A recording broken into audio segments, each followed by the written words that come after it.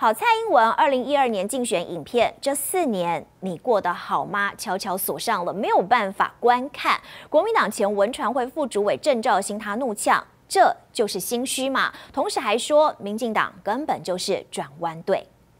今天其实天气呢是一开始是下雨的哈，那天公作美，在出发游行要开始之前呢，你可以看到雨停了下来。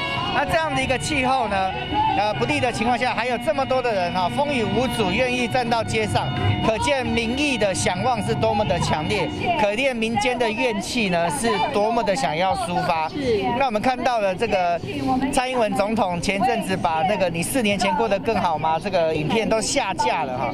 如果这四年来人民的生活很好，你不但不会下降，你还会把它到处去转发，好好去宣传，不是吗？看完我们民进党做的多么的好，结果现在为什么下架？就是自己心虚。其实这四年可以说做的是一塌糊涂，所以人民在这一次的公投，你甚至不用改变你的政党认同。但是呢，陈其迈讲说四个不同意，居然就是说不同意中国大陆啊并吞台湾，这根本是鬼扯。请问不吃这个有害健康的来猪，跟中国大陆有什么关系？请问公投绑大选这种人民民主的权利，我们丧失，这跟中国大陆有什么关系？请问一下，我们要多元永续的这个能源发展，可以能源自主，更能够抵抗外来的威胁，这跟中国大陆并吞有什么关系？我们希望守护我们的美丽的早教，这不都是一些真正。的台湾价值吗？民进党背叛了自己的价值，还想用谎言，企图去欺骗民众。民众已经把民进党当成放羊的孩子，一次两次不会再被骗第三次啊！所以今天才会有这么多的人要站出来表达说，人民才是头家，人民才是老大，民主时代是人民做主这样子的一种呼声。怎么看现在民进党大动作动员宣传公投，甚至福院党啊，连外交部还有驻美代表肖美琴都在影片上宣传这个反来猪等于反美猪，然后。宣传大家投下四个不同意哦，怎么看这件事情？差一个字就差很多哈。反来猪是因为对我们的健康造成危害，民进党却用谎言在宣传，而且违反行政中立。为什么用这么大的资源？因为他们知道他们在理上是站不住脚的，他们完全是在做跟人民作对的事情，所以到最后只能用谎言来辩护。其实这对执政党是非常悲哀的一件事，表示他们真正去改变政策的理由完全没有说服力。他说四个不同意是台湾队，事实上四个不同意是转弯队。过去挺来猪，过去反来猪，现在挺来猪，这是不是一个转弯？过去说来猪呢是违禁品，现在说来猪是保健品，这也是急转弯。过去说要绑大选，现在说是拆大选，这又是法夹弯。好，过去呢说核四要盖好，盖好又不敢不敢让它运转，这也是法夹弯。过去说要早教永存，现在变成是早教永成啊，早教的台。语叫做嗨超搭，今晚被回唱回搭了。好，所以呢，民进党种种背叛自我的行径，真正来讲根本不是台湾队。民进党四个不同意是转弯队，只有四个都同意，才是真正站在台湾民主的公投胜利队。好，我看到在聊天室当中，针对这个公投议题哦，网友 user user 他留言提到了不缺电、不限电、不跳电，因此支持核四厂重启。好，当然现在呢，大家会讨论这个话题，主要就是因为就这么刚好，台北的万隆变电所昨天意外故障，结果对此核四公投领衔人黄世修他就质疑了，是台电为了因应缺电的状况，长期降压供电，才会导致整个电网损伤。因此，如果核四公投不过的话，核二、核三恐怕也保不住了。等到台湾进入非核家园，缺电的国安危机就会成为常态。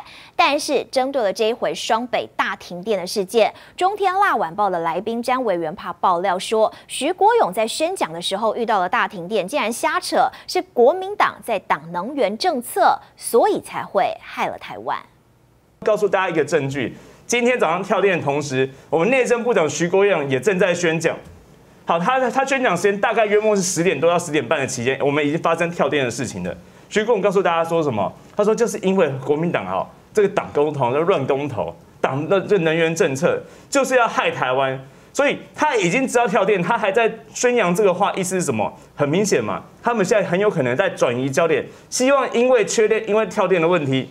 来支持所谓的从那个真爱早教的这个公判不过，希望三阶场能够顺利的进行下去，这就是民进党现在最大的阴谋。为了宣传公投，蓝绿本周末大动员。国民党台南议员谢龙介在宣传反莱猪的时候，他说了金句。他听说啊，莱猪吃多了，男性的生殖器会变小。不过有专业医师表示，目前来剂对人体的影响主要还是在心血管疾病的方面。而卫福部长陈时中则说，是由剂量来决定毒性。四大公投决战倒数，台南市议员谢龙介冲高雄公投宣讲，金句连发。不但有慢性病、破心、高血压尔呢，我听讲若食较济淡薄啊吼，讲胡辣的机会，我听一个我惊死哦。不管你吃什么东西哈，我想剂量决定毒性呐。好，那只要在安全的剂量来做使用的话，那都是安全的。卫副部长陈时中没把话说死，但到底来猪吃太多会不会影响到男性生殖？专业医师这样说：医学上还是考量到心血管方面疾病，本身有心脏病、心血管，有一些脑中风患者，我们统称这是敏感族群。还是希望民众要看好标示。到底要不要进口来猪？随公投越来越近，总统蔡英文公投宣讲却不断被民团打脸。反美猪进口，伤害到我们全球的布局。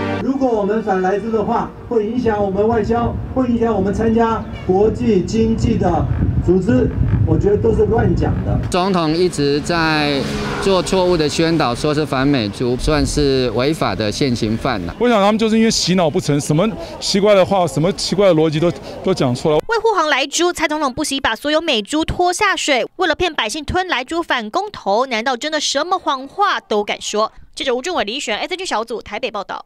好，针对谢龙介提出的这个论点哦，这个随心话在聊天室当中留言提到，真的是吓死了。好，不过没有错，这一回在四大公投议题当中，蛮多的，就是有四项主要的议题。当然，整个公投进入最后倒数六天了，国民党特别公布了一个公投的宣传影片，是以人民不安、治安恶化，还有施政混乱等三大主轴，用二十秒钟的时间来回顾民进党荒腔走板的执政，还有回早教的双标。同时，这回要鼓励大家在十二月十八号能够出门投票，实现宪法赋予的直接民权，制衡网军治国、践踏民意的民进党。